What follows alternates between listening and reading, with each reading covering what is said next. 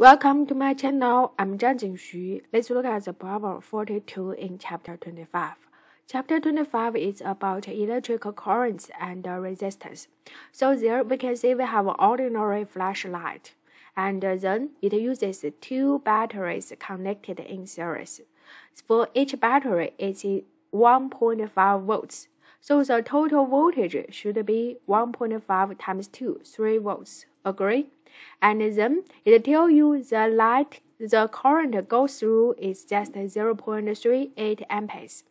First question ask you calculate the resistance of the bulb and then the power. So we can do it very straightforward. We can consider Ohm's law. Ohm's law tells us the resistance equal to voltage divided by current. So we input V and I inside, we get answer there. The next one, the power. The definition of power is current times the voltage and it's 1.1 uh, watt. Now, we can see the second question asks you by what factor would the power increase if there is four batteries in series. So now we can see the keyword is four batteries. Initially, two batteries. That means the voltage increased twice, right? Becomes twice the final voltage is twice as twice as the initial voltage. Agree? Yes. And then ask you how would the power changes. So we can consider in this case the resistance will not change for this uh, light bulb because it determined by the light bulb's materials, the length, the cross sections. This is, is not changed, right? So we can consider the relationship between the power, voltage, and resistance. This one very straightforward.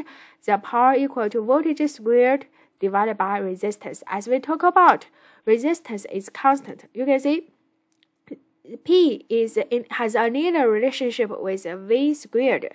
In this case, we see the voltage increased twice. So very straightforward, the power will increase four times. Agree? Two squared. 2 squared is 4, right? And ask you, mm -hmm, uh, why shouldn't you try this? That means uh, why shouldn't you connect this light, uh, this flashlight with uh, four batteries? Because the bulb is prob probably not rated for such a high voltages, right? As we talk about the resistance for this light bulb is uh, constant. If the voltage becomes twice, very straightforward, the current will become the twice, and then this may make the light bulb burn out. Thank you.